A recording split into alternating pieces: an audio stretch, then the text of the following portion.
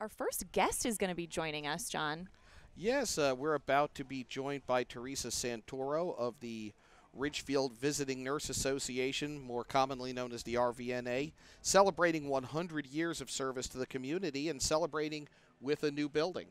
Theresa, welcome. Hi, thank you. Thank you for having me this morning. Now, the RVNA is really so important in this community. You guys are involved in a lot. I mean, you do a lot. We absolutely do. We've been here in Ridgefield for the last 100 years, and we're delighted to be here this morning uh, supporting the town and the Chamber of Commerce.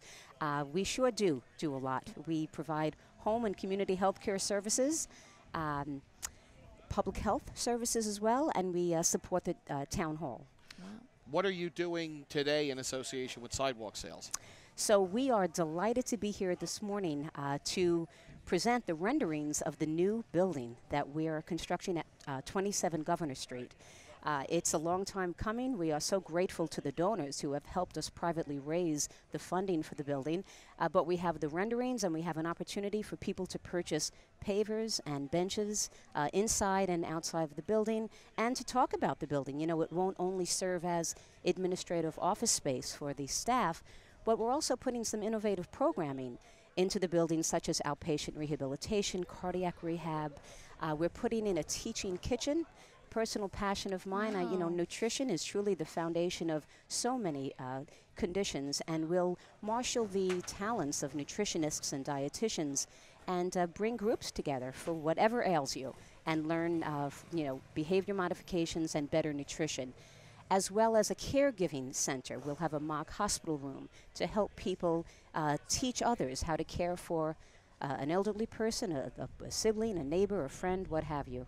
Wow, and Theresa, when is the building expected to be finished?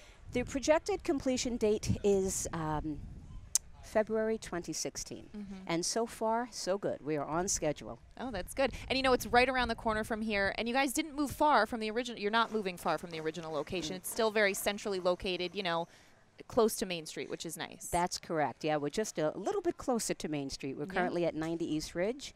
Uh, the old high school building, and we'll be right on Governor Street, just next door to the Boys and Girls Club.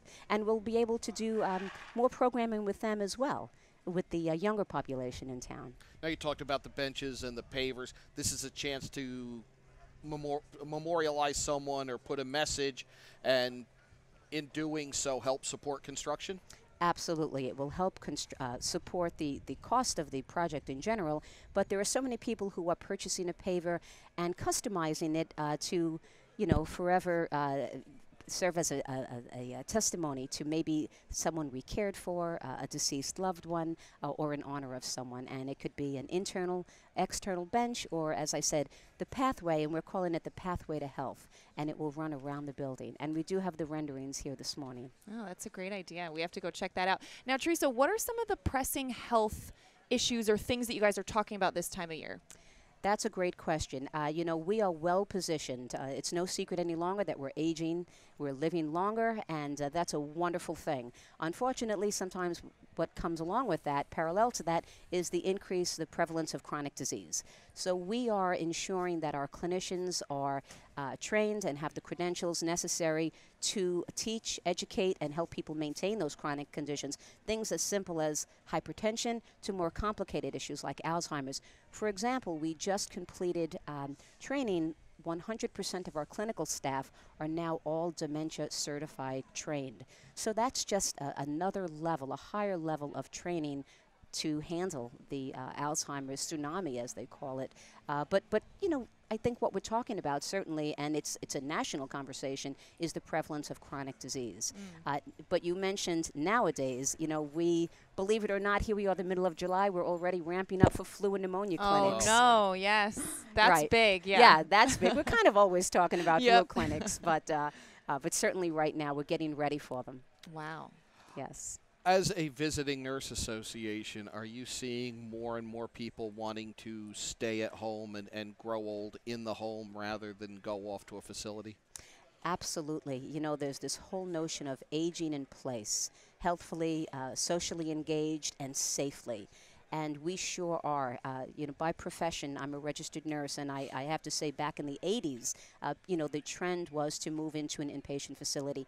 Uh, the trend today is people certainly want to age in place in their own homes, the comfort of their own homes. It's the most cost efficient place to age. So, yes, we are seeing an uptick in that. Wow. And Theresa, how can people get more information about the RVNA?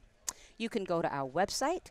Uh, you can call us up. Uh, we, you could. Um, we're on Facebook. We're on Twitter. Uh, come and visit us this morning at our booth. All right, great. Thank you so much, Thank Theresa you. Santoro of the Thank you. Love talking with you. Thank you. Love being here. All right, enjoy the day. Well, Donning, it's currently 72 and overcast in Ridgefield. 40% chance of showers. We just had the sun peeking through though, which was lovely. We did. That was uh, that was very It was encouraging. very nice. That was very. I think our next guest has arrived, but uh should we take a break? Let's. Can we take Yeah. a? Can we take a quick break? All right, great. We're going to take a break and we'll be back live from Ridgefield Summerfest after this.